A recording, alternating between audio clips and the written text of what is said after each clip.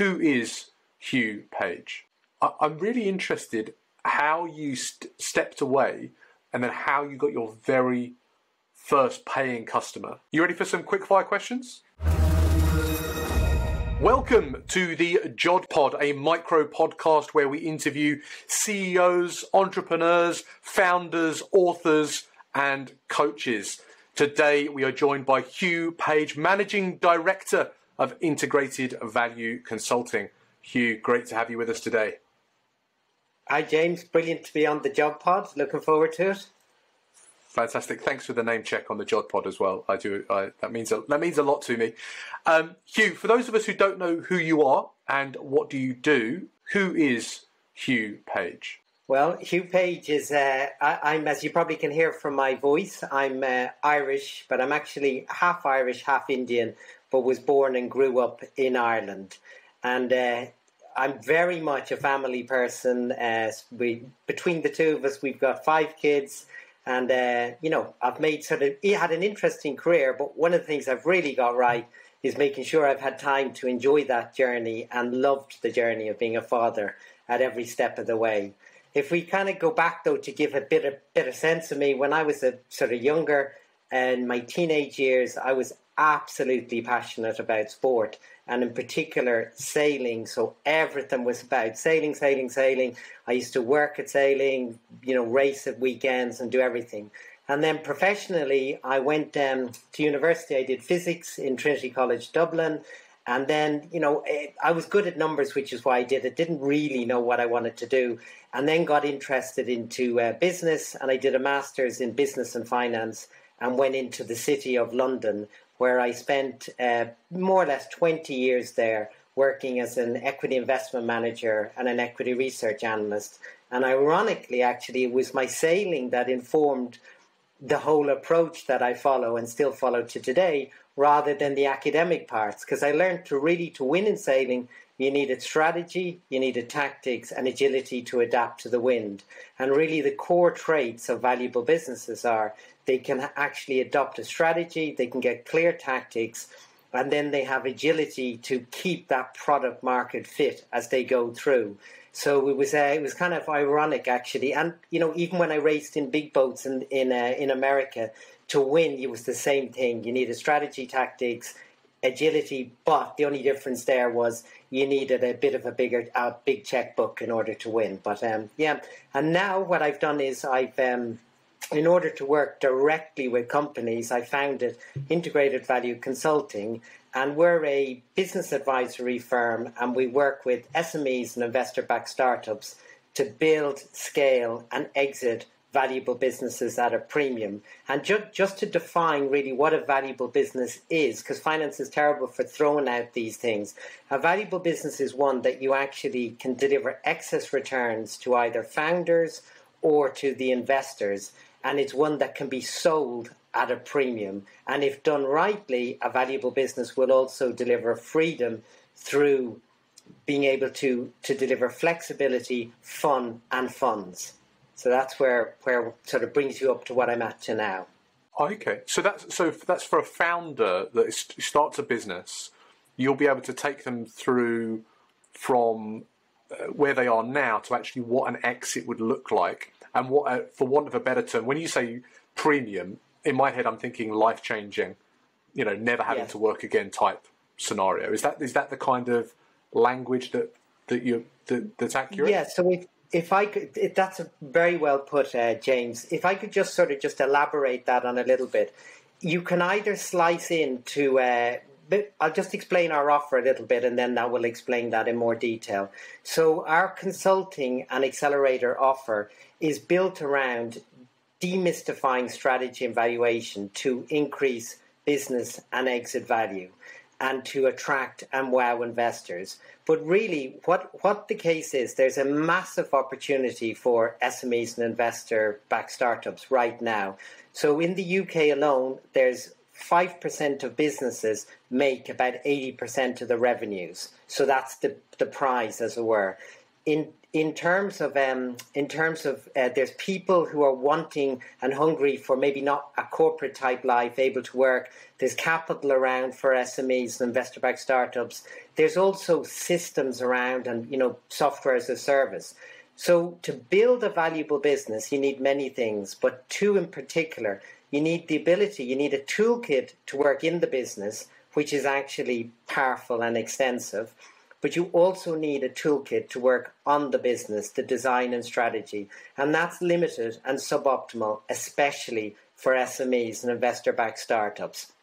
So, what IVC is all about is giving you and providing you that toolkit for you to work on the business. And what we've done is we've built a valuable business builder system. There's five steps in, in that system. Step one is we we give you the strategy and valuation toolkit. And step two, three, and four is to build out your business operating system or your business blueprint, you can think of it. So in step two, we create your strategy, which isn't just a woolly type strategy. That's very rock solid. Who exactly is your customer? What's their problem? What's your value proposition? And importantly, what capabilities you need to sustainably deliver superior value to your customer and to the business. Now, once you've got that in place, that informs the operating model. And then when you've got the operating model in place, that also informs your valuation. For the build stage companies, it's more you're just just checking to make sure the structure is correct, and later on it's leading to a full blown valuation. So the way to think of it is that if you were asked to build a house, you would ask an architect to have the specialist tools to create a building blueprint, and then that can be passed to project managers and to trades, and you can actually bring the the, the building to life. So, so the valuable business builder system gives you effectively that business blueprint and the toolkit. Now, what that does, it avoids um, sort of a, a, key problem that a lot of small businesses suffer from. Three in particular. It's this re- reverse domino effect a lack of strategy and cl- a lack of clarity over strategy and the operating model, what that tends to do, it tends to create unpredictable sales and scalability issues, which then translates into uninspiring profits and a double hit to the valuation because the profits are lower and you can't explain it to investors. So the valuable business builder system enables you to take over, solve those problems and actually create a company which has got a positive domino effect where you've actually got a clear strategy and operating model which then feeds into predictable sales and scalability inspiring profits. And then you get a double positive to your valuation because you can actually explain to investors this is how it works. Almost like you have, will you have that business blueprint? So so it's it's very much a if you're on the build stage, you're you're more creating sort of how will this work. If you're in the scale stage, you might be bumping up and looking for funding rounds and how do I present this business to to investors. And if you're at the exit stage, you're thinking, well, how do I present this to investors and showcase it? And it's always the same way. If you can actually explain to anyone what the business operating system is, it's effectively you've got the story meets the numbers. So you've got the strategy, which informs the operating model, which translates into the valuation. And now investors, you can see where this business is going. And importantly, if they buy it, how to take it there. And if you're the owner of the business, you've got the, the map to take it there yourself. So it's it's actually a, a very very effective um, sort of a, a sort of um, system for you. And if this sounds of interest or this type of thing, what we've designed is we've designed a diagnostic to check if you're building a valuable business. So if you go, if you Google Hugh Page IVC, it'll take you to Integrated Value Consulting's website. And on the right hand side, you'll actually see a, um, a, a, a big picture of London with the question Are you building a valuable business? Click on that diagnostic, it'll take you through, and you have to answer a series of 28 questions which will benchmark your business against the four key traits of a valuable business. And they are have you got a competitive advantage? Can you scale within that competitive advantage? Can you actually extract the profits within your competitive advantage and can you actually have a sound risk profile? Once you have that, you can think of it as being you've got a standard multiple for the valuation of the business, but it, your multiple is expanding and expanding and expanding as you can roll in these these uh, answers to these questions. Mm. So even the likes of an Amazon and an Apple, they'll be miles along that valuable business journey, but they're trying to go further along it. So it's well worthwhile taking it wherever you are. If you're not on that pathway, you need to get on it, and if you are on the pathway, there's ways to to increase your business value. And the diagnostic has been done in a way so you will receive a tailored report for you to get instant feedback. And should you wish to explore in some more detail, you can just book a discovery call. And it is a discovery call for us to meet, have a chat about your business, and provide insights for you to actually see if we can increase your business value or your exit value. To, to understand this, I'm thinking some kind of basic terminology. People often say that people get stuck working in a business rather than working on a business. You know, woods for trees, you know, type, type of analogy. And I think a lot of people now are probably feeling busy. They're yeah. delivering, they're doing product, and they're they're pushing things out. But yeah. but from what it sounds like is that the framework that you can you're you're talking about is that allows people to step away and actually see if what they're doing is building something that is that is valuable as a as a as a business.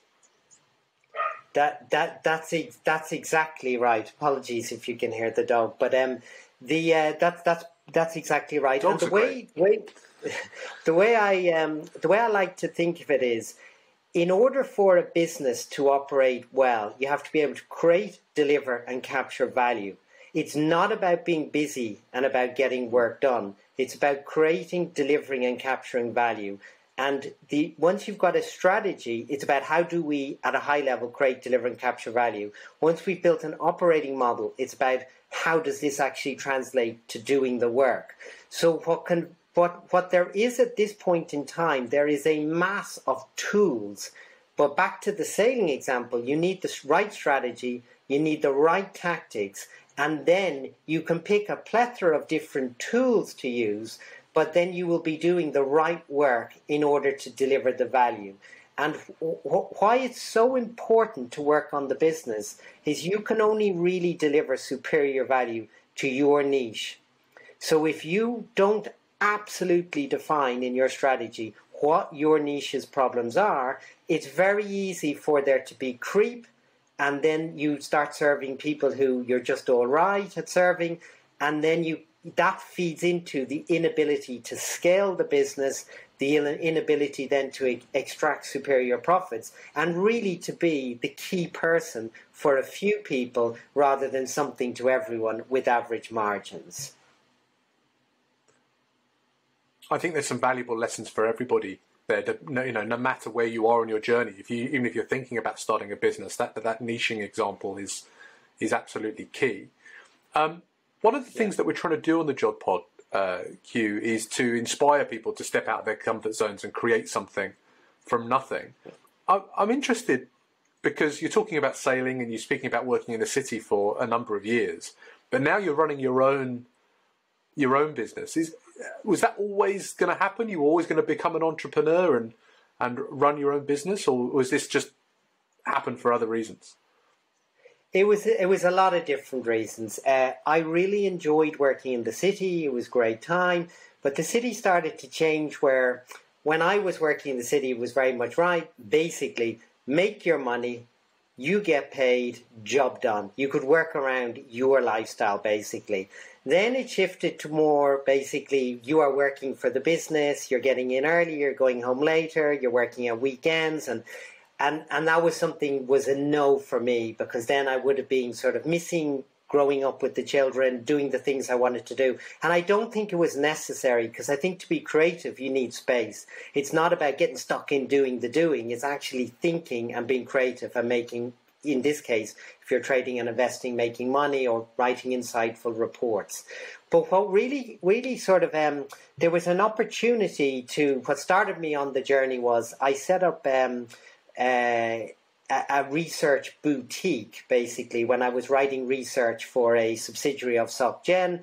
I then, a lot of the clients said, we really like the work you do. We couldn't care less where you work. So that was the insight. Do you know what? It's about what I do. So let's just set it up.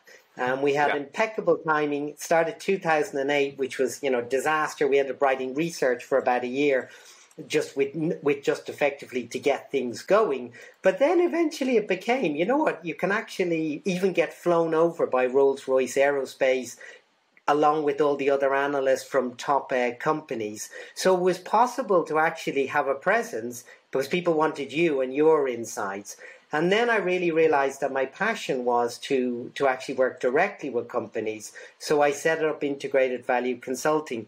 But it actually, when I say the words, it gives you the the the freedom and the sort of flexibility to do things and you know the fun and the funds the truth is that um, my parents became older. I was able to look after them. I was able to do all the necessary things. It was very much a case of that uh, I was able to give back, even if it meant doing a lot of things from hospital beds and doing the things around. So work always got done, but you could do it around your lifestyle. So what I would say to people is, you know, tomorrow never really comes. It's scary to leave a high paying job if you want and to start something up new.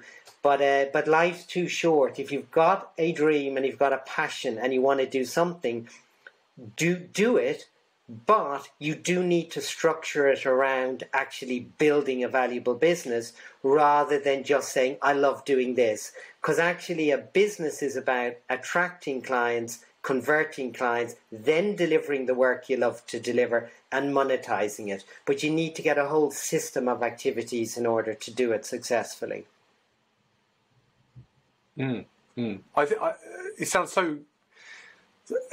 You know, I love your story about talking about creating freedom and having not necessarily work-life balance, but just kind of a life as well as work. Um, I think it's so yeah. important with family and, and parents, etc. etc. Um, one of the things you mentioned there was uh, you you need a you know stepping out your comfort zone, starting something, selling something, but doing it in the right kind of way. I, am really interested how you st- stepped away, and then how you got your very first paying customer specifically for you, rather than any of the other businesses you were working for. I'm afraid my uh, story of how I got my first uh, paying customer was when, um, well, in the when I set Integrated Value Consulting up, uh, a friend of mine actually, who we still work together, um, said, "I don't care what you do, Hugh. I've always wanted to work with you, so I'm actually sending you a check. I'm going to be your first invoice on your books." And it, it, it, took off there. And the name actually that firm is Select Executive Search, and we partnered together where it's executive search meets uh, meets company analysis. And so what we can do is we've developed an absolutely unique value proposition because you can actually look at a role where you've got the company, the strategy, what they're trying to achieve in their hire. Now, this is at the C suite senior level. So I'm not involved in the executive search part. I'm involved in mapping out the company, connecting those two together.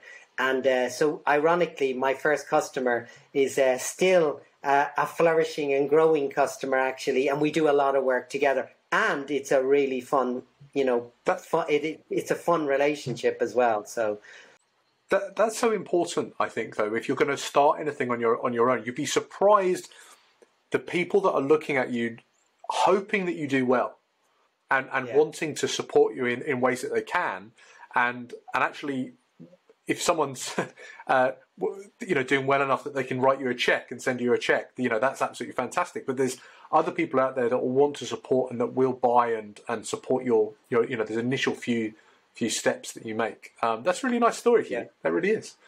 Um, we'll have yeah. to get them on the podcast. Yeah, I'm, yes, I'm definitely. Crowbarring that in definitely. there, Hugh. De- definitely. um, so, so for those of uh, you've spoken about the, the, the, the, scorecard. If people go to ivconsulting.co.uk, there's a uh, image there that people can just click on and they can get the scorecard. I think for anybody that's in business at the moment, thinking about that value uh, proposition is absolutely key. I'll certainly be jumping on this and having a look about what Brilliant. we're doing with the Jod Pod and one hour content because I think that sounds like a really great uh, scorecard. Thanks for that, Hugh. You ready for some quick fire questions? I certainly am. Fantastic. So, uh, what's your favourite app or SaaS product that you're using every day at the moment? Well, my favorite app is Notability, and it actually fits in with the, the flexibility lifestyle. So I normally get up at about six o'clock in the morning. I potter down, make myself a cappuccino, and then I have a massive big white magnet, you know, whiteboard. I like to draw, doodle, unpack my ideas. I don't do client work first in the thing in the morning. It's creative work. And then what I do is I take a photograph of that and put it into Notability. And then on my iPad, I can then put it into my journal and then I just write notes and make certain notes and then I can just record things to it or I can type things to it. And pretty much every model and everything that we've created follows this pattern. The Valuable Business Builder system went through this. The Valuable Business Builder scorecard went through this. The stock multi-lens model for analyzing companies went through this. It's a really, really creative way to actually marry, you know, the whole way of thinking and it can be on your phone your computer you know everywhere you go so when you get that inspiration record it because in my case I forget it every time. I think, what was that great idea I had? So that's my go-to app, Notability. what's your uh, What's your most recommended book, Hugh? I'd say a very good one is is uh, the E Myth Revisited by Michael Gerber because he was the first person to really make the distinction between working on the business and in the business. And he, he very much spelled out that a lot of people are suffering from what he termed was an entrepreneurial seizure. And that entrepreneurial seizure means that people set up businesses, but they don't plan to build a valuable business. And it's a real shame because although there's a big opportunity, in the UK, about 50% of businesses fail within the first five years. And of the ones that make it, another 40% fail by their 10th birthday. And for startups, over 90% of new models fail. And it's a backdrop of low profitability. And really, he was, I'd say, the first person to shine a light on listen, you need to work on the business. It's so, so, so important. And that work was sort of furthered on by Mike Michalowicz, which in Clockwork is another good book in that genre, if it was. And then uh, the next book you should read when I eventually get around to writing one will be the stuff that I do, which takes it where it gives you the toolkit, the training, and the expertise to actually work on your book. Or sorry, on your business. The the E Myth. I was thinking about the E Myth when you were talking about you know that that that kind of paradigm, uh, and I think it's so. It's quite. It's very well written. It's very story orientated, isn't it? About and it, it's very really? basic business ideas that they share, and then you can apply. Yeah. But you the way you apply it, and um, yeah, it, it's like don't be put off by the cover. I don't think it's got a great cover, but it's a it's yeah. a very good it's a very good book. Uh, who's your favourite YouTuber or podcaster? Well, I'm not a massive YouTuber, but I would say anyone in the SME space or in, uh, sort of Daniel Priestley on any of his stuff on YouTube is worth listening. He's phenomenal when it comes to, you know, same building scaling and, you know, the whole journey, the whole entrepreneurial journey. But what he does, I think, particularly well on the YouTube and the podcast is he puts things in context. There's a clear context to, to everything he does and and and it, it's actually proven and it works. And so and it's all action orientated because i think we can all get into the habit of you know looking at more and more information but you need information and then a bit like tony robbins then you need to do something. You need to take massive action even if it doesn't work which a lot of the time it doesn't. So yeah i'd highly recommend uh, any of his material that's great. Yeah, no, Daniel's YouTube is fantastic. Uh, there's lots of talks that he's done, but also more practical, shorter, shorter pieces. And uh, yeah, as you say, taking action is is yeah. absolutely key. If you're start, if you're thinking about starting a business, start it, yeah. and then yes. we can look, talk about sharpening sharpening yeah. bits uh, bits and bobs up. Who's an up and comer, Hugh, that we should be keeping an eye on? Uh, in you know, someone like a uh, Huffington, Bezos, or Musk. Well, you know, I think the world's changed. I don't know who's the next Elon Musk or the next, you know, Jeff Bezos. But what I do think, when Steve Jobs said, I believe that if you put affordable technology in the hand of the masses, you'll create a shift of power from the few to the many. And I really think now is the time to create your life by design. You're actually build that business that you've always thought about, create that freedom, have that fun, flexibility, and funds. And uh, so, so I think it's now more a case of who are the thousands and hundreds of thousand pe- thousands of people who are going to actually grab that opportunity and uh, you know really really have a career that they love and they're inspired by i wake up every morning thinking wow how lucky am i to do something i love to do and i get paid for it and i think that's that's something that actually now is possible for, uh, for for for basically so many more people. In the olden days, it was really shut out. Mm. You know, effectively, you know, the sort of the big companies had all the assets, but now we all have the assets. You know, the YouTubes, the CRM systems, Amazon platforms. It's all available for us to use at very low prices. So what you're saying is that the next Musk Bezos character is currently listening to this podcast, has all the tools in front of them, and they, they just need to take some action and then they'll step into that space. Definitely. Wonderful. Thanks for that, Hugh. And Hugh, where's the best place for people to interact with you online?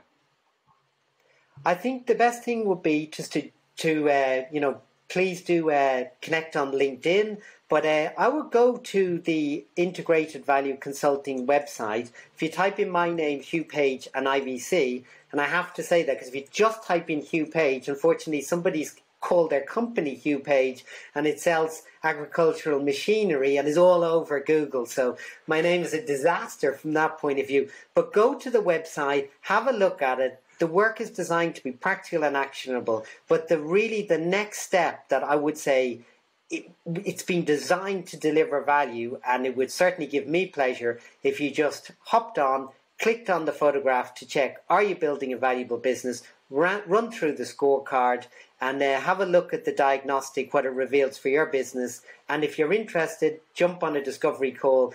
They're always designed around deliver value first yes, we'll show you what we're up to. If you have an interest, great, but it's not a sales call, it's, it's to share the message. Wonderful. Thanks for that, Hugh. There we have it. Hugh Page is the managing director and founder of Integrated Value Consulting, a business advisory firm that works with SMEs and investor backed startups to build, scale, and exit valuable businesses at a premium. He got his first customer back after the 2008 crash using his own network. A friend sent him a check because they wanted to be the first customer on the uh, what's it called? The ledger. Is that the right term, Hugh? The ledger uh, yeah. from Select Executive Search. His uh, most rec- most recommended app is Notability, which he uses in conjunction with a whiteboard to be creative and come up with different ideas. The most recommended book is The E Myth Revisited by Michael Gerber, also suggested that we check out Clockwork. He loves watching Daniel Priestley's YouTube appearances, some really valuable uh, content from Daniel Priestley as always. And we should be keeping an eye on you. Yes, that's you. People that are listening or watching this podcast, you've got all the tools to hand to go and create a new life for yourselves. And Hugh wants you to go out and build a passionate business, passionate, valuable business for yourself. You can find Hugh on LinkedIn. Just go to Hugh Page. I'm sure he'll accept an invite. And please check out ivconsulting.co.uk to have a look at Hugh's scorecard. That's I V C O N S U L T I N G.co.uk. Hugh, thanks for joining us today on the Jod Pod. Brilliant. Thank you very much, James. It's been a pleasure to be on the Jod Pod. Smashing. And thank you for joining us today on the Jod Pod for our interview with Hugh. If you want to make sure that you see more of these kind of interviews on the Jod Pod, you need to play the YouTube game. Hit subscribe, hit the like, thumbie uppy button, hit the bell so you get a notification each time that we upload an episode, and let's ask you a question in the comments below. You know, he's got a wealth of experience about creating value, valuable uh, businesses that are designed to scale, grow, and uh, exit at a premium. I'm sure that if you are thinking about starting a business, you want to learn from Hugh. So ask some questions below, and I will bully Hugh into coming back and answering every single one of them. Hopefully, you've been inspired by Hugh and his message uh, today. Please go and build something for yourself and inspire the next generation. Thanks for joining us today on the Jod Pod. If you enjoyed this interview, why don't you check out some of these other interviews that we've done on the Jod Pod? More inspirational CEOs, coaches, entrepreneurs, founders, and authors. I'm sure there's something here that will inspire you to build something new.